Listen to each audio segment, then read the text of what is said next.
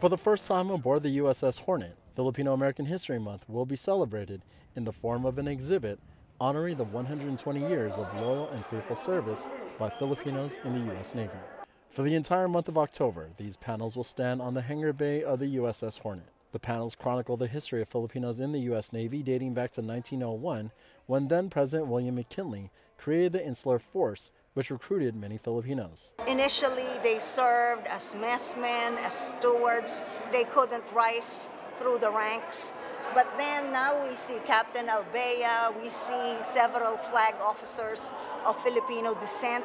So we are slowly rising there, but we need to see more. Captain Leopoldo Albea is one of the Navy's high ranking Filipino American officers. He says to have this exhibit aboard the Hornet is very significant.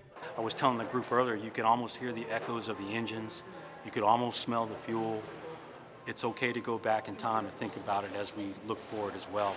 And Hornet and her reputation and everything that she did and a part of history is really important. The USS Hornet uh, served an important role during the liberation of the Philippines.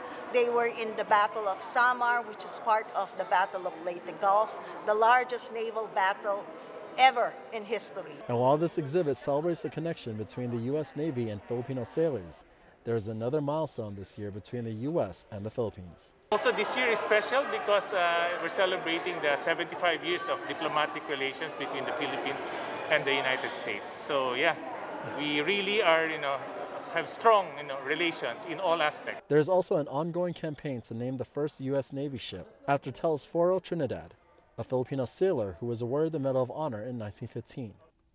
In honor of Philam History Month, advocates urge people to visit ussttc.org to find out more information on how to get the ship named after Trinidad. From Rommel Conclara, ABS-CBN News, Alameda, California.